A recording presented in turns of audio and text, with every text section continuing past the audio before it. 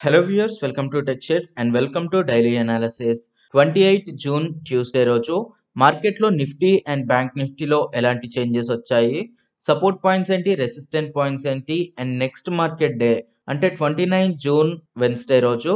Nifty and bank నిఫ్టీలో ఎలాంటి changes రావచ్చు అనే ప్రిడిక్టెడ్ మార్కెట్తో పాటు రేపటి మార్కెట్లో ఎవరైతే ఆప్షన్లో ట్రేడ్ చేయాలి అనుకుంటారో ఆప్షన్ ట్రేడ్కి సంబంధించిన కాల్స్ అలాగే స్ట్రాటజీస్కి సంబంధించిన ఇన్ఫర్మేషన్ని ఈ వీడియోలో చెప్పబోతున్నాను. సో వీడియోని స్కిప్ చేయకుండా ఎండ్ వరకు చూడండి. అలాగే ఈ వీడియో కానీ మీకు హెల్ప్ అయితే లైక్ చేయండి మీ ఫ్రెండ్స్ తోటి షేర్ చేయండి. అండ్ ఈ ఛానల్ని ఇంతవరకు సబ్స్క్రైబ్ కానీ చేసుకున్నట్లయితే ప్లీజ్ సబ్స్క్రైబ్ చేసుకోండి. అండ్ సబ్స్క్రైబ్ చేసుకోగానే పక్కనే ఉన్న బెల్ ఐకాన్ని క్లిక్ చేయండి. సో టాపిక్ స్టార్ట్ చేస్తే ఈ రోజు నిఫ్టీ ఓపెనింగ్ చిన్న గ్యాప్ డౌన్ తోటి ఓపెన్ అయింది. అయితే ఈ గ్యాప్ డౌన్ వల్ల నిన్నటి సపోర్ట్ పాయింట్స్ ఏదైతే ఉందో అంటే నిన్నటి ఓపెనింగ్ అనేది ఒక స్ట్రాంగ్ సపోర్ట్ పాయింట్కి అప్పర్ సైడ్ ఓపెన్ అయింది. అండ్ ఈ రోజు ఆ సపోర్ట్ పాయింట్కి లోయర్ సైడ్ ఓపెన్ అయింది. సో ఈ సపోర్ట్ పాయింట్ నుండి ఓపెన్ అయిన మార్కెట్ ఆ సపోర్ట్ పాయింట్ని క్రాస్ చేసింది అండ్ దాన్ని మళ్ళీ సపోర్ట్ లా తీసుకొని పాజిటివ్ డైరెక్షన్లో స్వింగ్ని క్రియేట్ చేసింది. సో ఓవరాల్గా చూస్తే ఈ రోజు ఒక హయ్యర్ హై స్వింగ్ని మనం అబ్జర్వ్ చేయొచ్చు. అలాగే ఓవరాల్ చేంజ్ ఒకసారి అబ్జర్వ్ చేస్తే ఓన్లీ నిఫ్టీలో ఎయిటీన్ పాయింట్స్ ఉంది. అంటే నిన్నటి క్లోజింగ్ ప్రైస్తో కంపేర్ చేస్తే ఓన్లీ ఎయిటీన్ పాయింట్స్ చేంజ్ కనిపిస్తుంది. అలాగే బ్యాంక్ నిఫ్టీలో చూస్తే one sixty eight points change కనిపిస్తుంది. అది కూడా నెగిటివ్ డైరెక్షన్ అంటే పాయింట్ ఫైవ్ పర్సెంటేజ్ మనకి నెగిటివ్ డైరెక్షన్లో బ్యాంక్ నిఫ్టీలో చేంజ్ వచ్చింది. నిన్నటి మార్కెట్ అనాలిసిస్లో నేను చెప్పిన పాయింట్ ఏంటి అంటే మార్కెట్ ఒక రెసిస్టెంట్ లైన్ కింద ఉంది. సో ఈ రెసిస్టెంట్ లైన్ని కానీ మార్కెట్ టచ్ చేసింది అంటే ఎయిదర్ ఇది బ్రేక్అవుట్ ఆర్ మార్కెట్ రివర్సల్ ఈ రెండు కేసులలో ఏం జరుగుతుంది అనేది మనకి ఒక క్లారిటీ వస్తుంది. ప్రెసెంట్ మార్కెట్ అయితే పాజిటివ్ డైరెక్షన్లో ఉంది. లాస్ట్ టూ వీక్స్ నుండి మార్కెట్లో ఒక పాజిటివ్ డైరెక్షన్ని మనం అబ్జర్వ్ చేయొచ్చు. అయితే ఈ రోజు మార్కెట్లో కూడా ఈ రెసిస్టెంట్ లైన్ని టచ్ చేయలేదు. మార్కెట్ ఇంకా వన్ ఆర్ టూ డేస్ వరకు ఈ రెసిస్టెంట్ లైన్ దగ్గరనే ఉండడానికి ఛాన్స్ ఉంది. సో ఈ వన్ ఆర్ టూ డేస్లో ఈ రెసిస్టెంట్ లైన్ని టచ్ చేసి మార్కెట్ నెగిటివ్ డైరెక్షన్ గాని తీసుకుంది అంటే మళ్ళీ ప్రీవియస్లో ఏదైతే ఉందో ఆ లో పాయింట్ వరకు కూడా మార్కెట్ రావడానికి ఛాన్స్ ఉంది. ఒకవేళ ఈ రెసిస్టెంట్ లైన్ గానీ క్రాస్ చేసింది అంటే మార్కెట్ పాజిటివ్ డైరెక్షన్లో బ్రేక్అవుట్ జరిగి పెద్ద మూమెంట్ పాజిటివ్ డైరెక్షన్లో కంటిన్యూ అవ్వడానికి ఛాన్స్ ఉంటుంది. అయితే ఈ రెసిస్టెంట్ లైన్ ఒకసారి అబ్జర్వ్ చేస్తే ప్రీవియస్గా క్రియేట్ అయిన ఈ స్వింగ్లో ఈ హైయెస్ట్ పాయింట్ నుండి ఈ రెసిస్టెంట్ క్రియేట్ అయింది.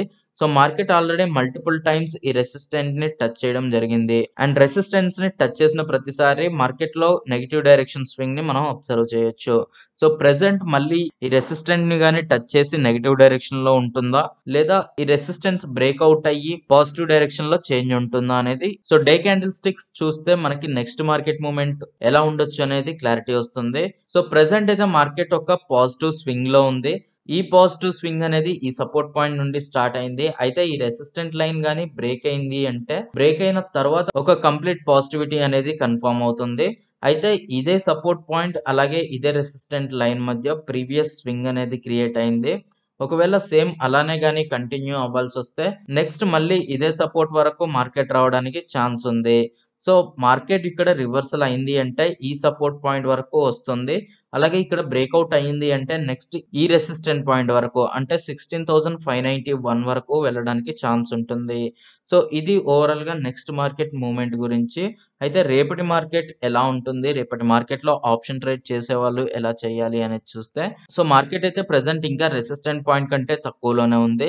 రెసిస్టెంట్ పాయింట్ని రేపు ఒకవేళ టచ్ కానీ చేసింది అంటే ఈ రెసిస్టెంట్ బ్రేక్ అవుతుందా లేదా మార్కెట్ రివర్స్ అవుతుందా అనేది మనకు ఒక క్లారిటీ వస్తుంది. సో బ్రేక్అవుట్ అయితే మార్కెట్ మీరు ఆప్షన్ కాల్స్లో నెక్స్ట్ వీక్ ఆప్షన్ కాల్స్ని సిఈ బై చేసి ఉంచుకోండి. సో ఎట్ ద ప్రైస్ దగ్గర అంటే రేపు ఏ ప్రైస్ దగ్గర అయితే మార్కెట్ బ్రేక్అవుట్ అవుతుందో బ్రేక్అవుట్ అయిన తర్వాత ఎట్ ద ప్రైస్ దగ్గర ఉన్న సిఈస్ని బై చేయండి. ఒకవేళ బ్రేక్అవుట్ అవ్వకుండా మార్కెట్ ఇక్కడ రివర్సల్ గాని కనిపించింది అంటే అది ఒక కన్ఫర్మ్డ్ రివర్సల్ అయిన తర్వాత ఎట్ ద ప్రైస్ దగ్గర ఉన్న పిఈస్ని బై చేసి ఉంచండి. బట్ రేపటి మార్కెట్లో కూడా ఒకవేళ ఈ రెసిస్టెంట్ పాయింట్ వరకు మార్కెట్ వెళ్ళలేదు అంటే అంటే సైడ్ వైజ్ డైరెక్షన్ ఉంటే తప్పితే రేపటి మార్కెట్లో కూడా ఈ రెసిస్టెంట్ లైన్ని టచ్ చేయకుండా ఉండదు.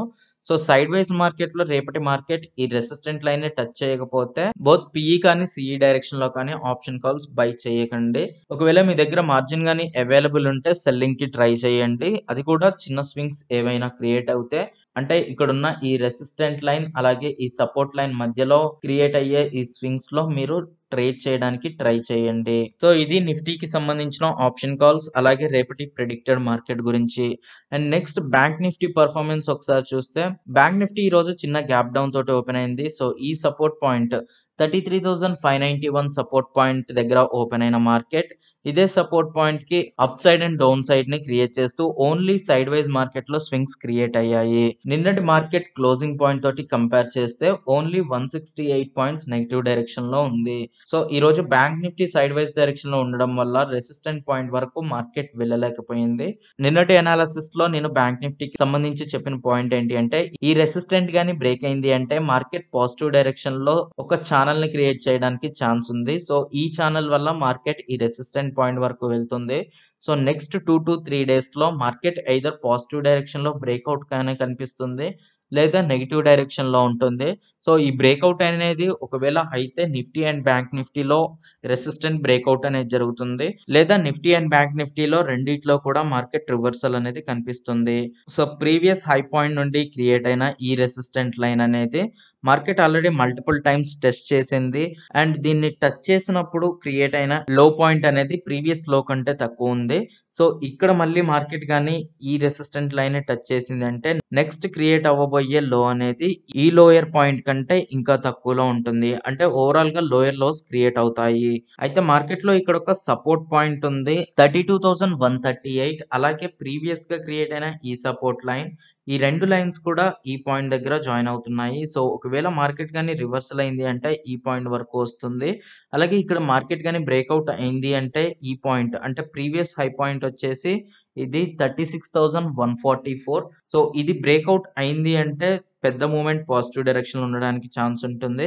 ఒకవేళ అవ్వకపోతే మాత్రం ఈ పాయింట్ వరకు అయితే మార్కెట్ వస్తుంది.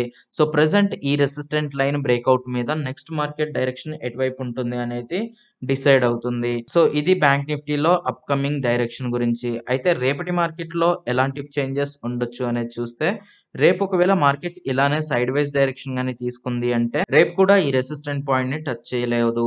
బట్ ఇక్కడ మనం ఒకటి అబ్జర్వ్ చేస్తే ఇదొక ట్రయాంగులర్ ఫార్మ్ క్రియేట్ అవుతుంది. సో, ఈ ట్రయాంగులర్ ఫార్మ్‌లో ఈ ఏరియా క్లోజింగ్ టైంలో market either negative direction or positive direction breakout అనేది ఖచ్చితంగా జరగాలి. సో, నెక్స్ట్ 2-3 డేస్‌లో ఇందులో బ్రేక్అవుట్ అనేది పాజిటివ్ డైరెక్షన్ నెగెటివ్ డైరెక్షన్ అనేది కన్ఫర్మ్‌గా తెలుస్తుంది. సో, రేపటి market either side wise direction ఉంటుంది. లేదా రెసిస్టెంట్ని టచ్ చేస్తుంది. So, based on market opening మీరు ట్రేడ్ చేయడానికి ట్రై చేయండి. అలాగే మీరు ఆప్షన్స్‌లో కానీ ట్రేడ్ చేయాలి అంటే నెక్స్ట్ ఎక్స్‌పైరీ అంటే జూలై 7థ్‌కి సంబంధించిన ఎక్స్‌పైరీస్ తీసుకోవడానికి ట్రై చేయండి. So, present side wise direction two days వరకు ఉంటుంది కాబట్టి ఈ థర్స్డే కి సంబంధించిన ఆప్షన్ కాల్స్ బై చేయకండి.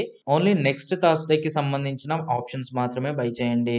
సో, రెసిస్టెన్స్‌ని కానీ క్రాస్ చేసింది అంటే సీఈస్‌ని బై చేసి ఉంచడానికి ట్రై చేయండి. అంటే ఏ పాయింట్ దగ్గర అయితే రెసిస్టెన్స్ బ్రేక్ అవుతుందో ఆ పాయింట్ దగ్గర ఉన్న ఎట్ ద ప్రైస్‌లో ఉన్న సిఈస్ని బై చేసి ఉంచండి.